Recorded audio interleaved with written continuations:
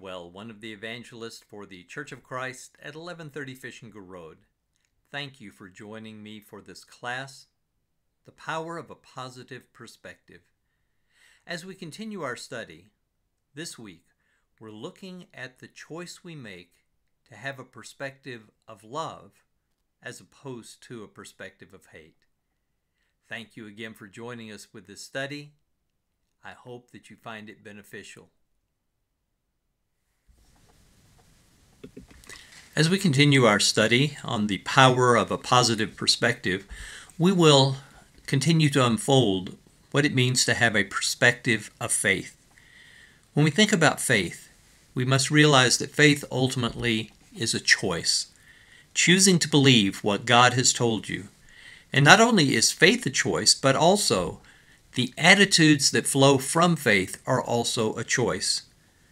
We'll be looking at each of these attitudes, aspects of the fruit of the Spirit, and seeing the way in which we choose to embrace this attitude and to let it shape our perspective.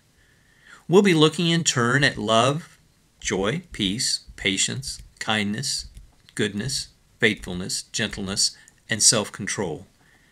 Each of these aspects of the Spirit's fruit in our lives are evidence that we are in step with the Spirit, because this is what it means to have a perspective of faith, an outlook informed and directed by the good news of Jesus Christ.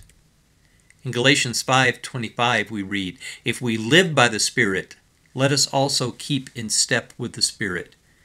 If you have become a Christian through faith in Jesus Christ, that same faith which provided for you the Holy Spirit in the waters of baptism, will give you access to the Spirit's power in your life as He directs and guides you day by day.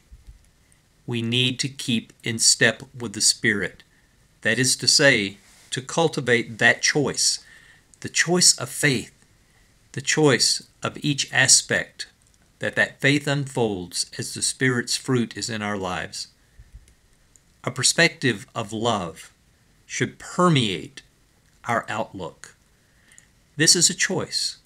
We choose to love, not that we happen to feel that it's convenient, but we have made an act of will, a choice, a decision. When we think about love, of course, we think of 1 Corinthians chapter 13. Picking up in verse 4, we read various aspects of love. And this helps us to see how our perspective should be changed when we choose love instead of hate. Paul says in this perspective of love that love is patient. We live in an age of immediate gratification, and we live in an age of aggrievement where people are prone to fly off the handle. In contrast to that, Christians are called to choose to be patient. Proverbs 10:12 Hatred stirs up strife, but love covers all offenses. Certainly, people have done things to offend you. The question is, do you choose to stir up strife? Do you choose the way of hatred? Or in love, do you seek to mitigate to reduce, to cover the offense. As Christians, walking in step with the Spirit, we should choose the way of peace, the way of patience, not the way of anger and resentment. Paul goes on to say that love is kind. Kindness is something in very short supply in our world, but kindness is central to keeping in step with the Spirit. And we should be kind because God has been kind to us. And if we remember that, we're able to be kind to others. Ephesians 4:32 Be kind to one another, tender-hearted, forgiving one another as God in Christ forgave you. Yes, people have done things that are hurtful to us, but we have done things that have been hurtful to God. And God, in His kindness, has forgiven us. So it is we should cultivate a mindset of forgiveness towards others. A perspective of faith, keeping in step with the Spirit, will have a perspective of loving kindness. And also, not of envy or boastfulness. Envy and boastfulness are two sides of the same coin. When I envy someone, I resent the good that he has. And when I'm boastful, I am elevating myself in a way that puts other people down. We must not do this, but rather we should choose a different outlook. Matthew 27:18 gives an example of envy. Pontius Pilate knew of the Jews that they were envious. For he knew that it was out of envy that they had delivered him up. Why is it that the Jews delivered Jesus to Pontius Pilate? It's because the Jewish leaders were envious of Jesus. It's not because of any of the trumped up charges that they brought accusing him of blasphemy, accusing, accusing him of insurrection. Pontius Pilate saw through that and knew it was out of envy. We need to make sure that we do not permit envy to take over our lives, that we, like the Jewish leaders, would fall into sin because of envy. We need to make a choice of humility, not of boastfulness. In a similar way, love is not arrogant or rude. And in many ways, arrogance and rudeness are the practical outflowing of envy and boastfulness. Whenever we are arrogant, whenever we look at other people and put them down, we have made a choice that is not in step with the Spirit. Isaiah 3, verse 5, describes the dissolution of Jewish society, the way in which the nation was falling apart the prophet says, And the people will oppress one another, every one his fellow and every one his neighbor. The youth will be insolent to the elder, and the despised to the honorable. I think about the recent hashtag that has been used where those who are younger say to those who are older, okay, boomer. In other words, dismissing someone who is older just simply on that basis, that they are not part of your generation. The youth being insolent to the elder, the despised to the honorable, in place of that, we need civility. Not being rude and arrogant, but embracing love. And this is a choice we must make if we want our attitude to be guided by the Spirit. Further, love does not insist on its own way we have a, a mindset. It's my way or the highway. But we must not be constantly looking at what we want, but rather we should look at what is good for everyone. Philippians 2, beginning in verse 3 Do nothing from selfish ambition or conceit, but in humility count others more significant than yourselves. Let each of you look not only to his own interest, but also to the interest of others. Have this mind among yourselves, which is yours in Christ Jesus. Make a decision. Change your mind. Instead of being controlled by an agenda of self, think of others. Think of what is best for all. And the one who gives us the example of how to do this is Jesus Christ Himself. Love does not seek its own way and is not irritable or resentful. Again, we have entered into a time where aggrievement seems to be the order of the day. To be irritated, to be resentful of others. But love is a choice that says, I will not be irritable. I will not be resentful. We need to do this because of the way in which Christ has forgiven us. James 1:19 Know this my beloved brothers let every person be quick to hear slow to speak slow to anger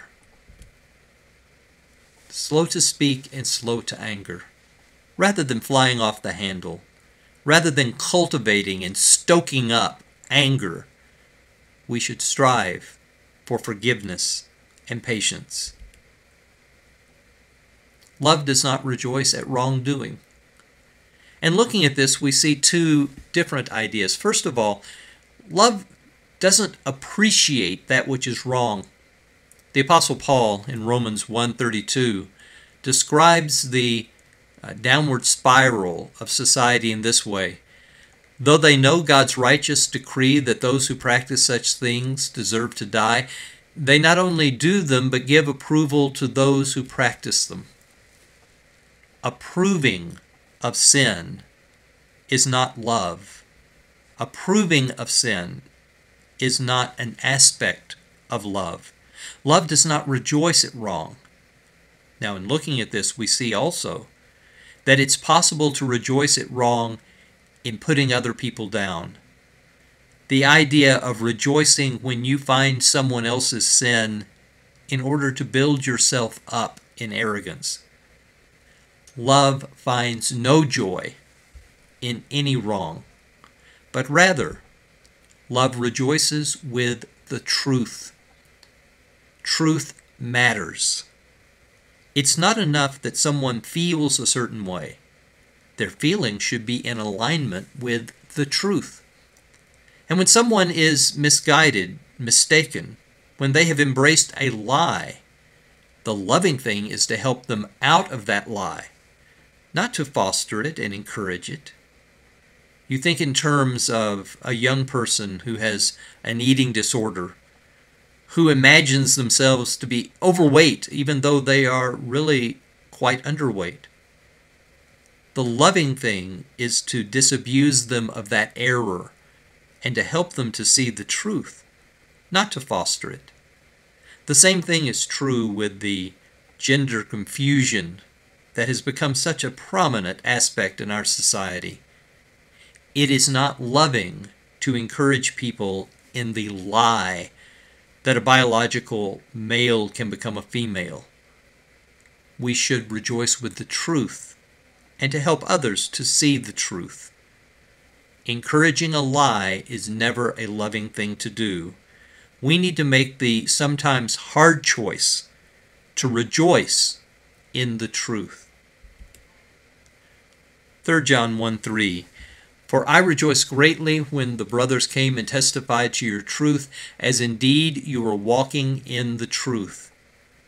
To keep in step with the Spirit is to walk in the truth. Love bears all things. Again, we have a mindset of aggrievement that has gripped our country. And the idea of being angry and saying, I'm not going to put up with, and fill in the blank. Love bears all things. Romans 15:1 We who are strong have an obligation to bear with the failings of the weak and not to please ourselves. Bear with the failings of the weak. Again, we don't leave people in error.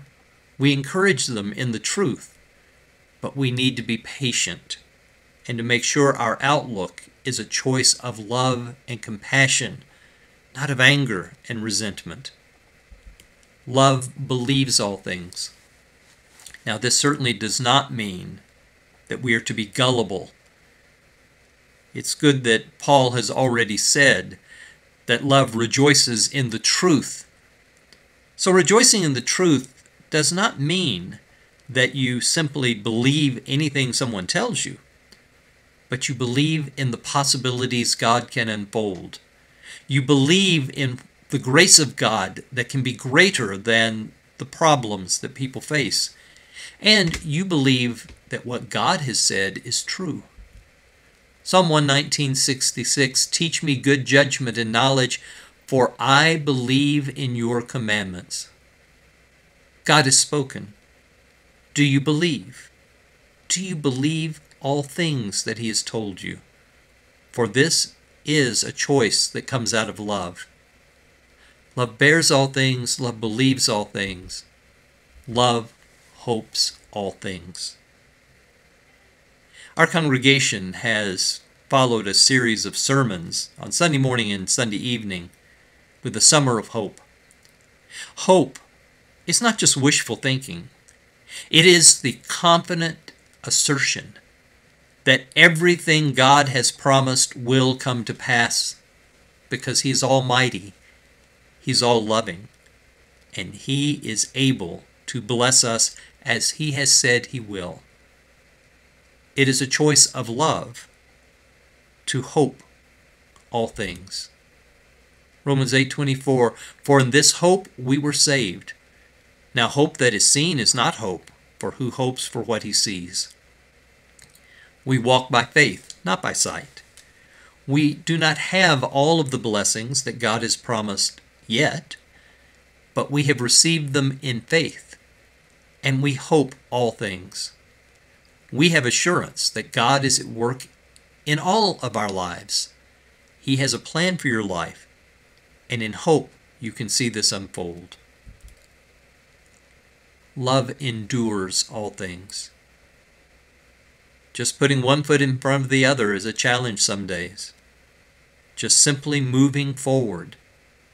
But in the face of great adversity, as all Christians have in this world, love provides endurance. And again, it's a choice. You choose to keep going out of love.